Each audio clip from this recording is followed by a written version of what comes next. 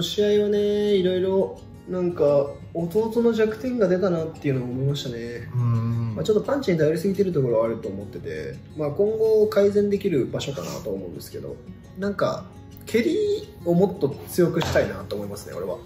でもカニ全然蹴れるでしょ。いやでも蹴りで KO したことないじゃん。ああの天心とも昨日話してたんだけどなんていうかなその相手の距離蹴りが伸びないよね。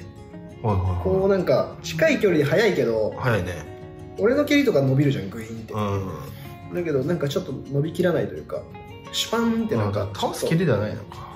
蹴りの威力はあるんだろうけど、うん。蹴り蹴るタイミングとか、まあ、そういうのをちょっと練習していくのとまあレスリングをもっと強くしないといけないなっていうのうん。はちょっと試合後に話してたんで一緒に。返しの技だったりあのパウンドを打てるようになったりとか そういうのを向上させたらより強くなるんじゃないかなっていうパンチボクシングにちょっとこだわりすぎてたと思うんででうん。右の拳が使えなくて、まあ、戦う術がなくなったと思うんで。うんそれね。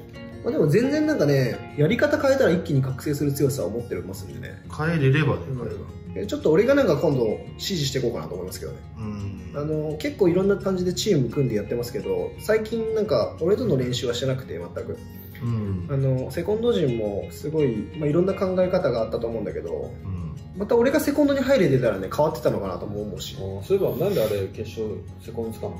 いや俺つきたつきたいからあの1試合挟んでもらったのよ。うん。なんだけどなんかもともと申請出した人がなんか宮島君と俺の違いであなんかもうそこから変えちゃダメって来人がうるさかったから。そうなんだ。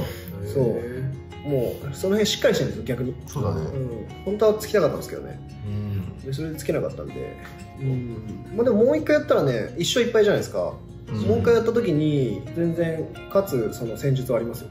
正直、うん。まあ、ただその今後もっと上行くにさ俺も含めてなんかもっと改善していかないといけない部分は結構明確に分かったんでまあちょっとここからまた練習から変えてねやっていこうかなと思ってますんでね